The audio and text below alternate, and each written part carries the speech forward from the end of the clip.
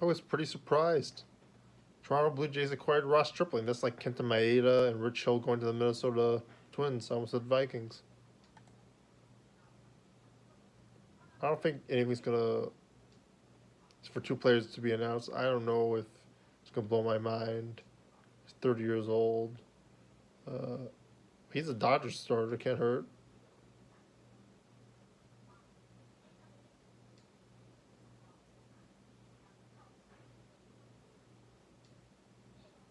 Tony Gonsolin will start with the Los Angeles Dodgers. That worked out for everyone.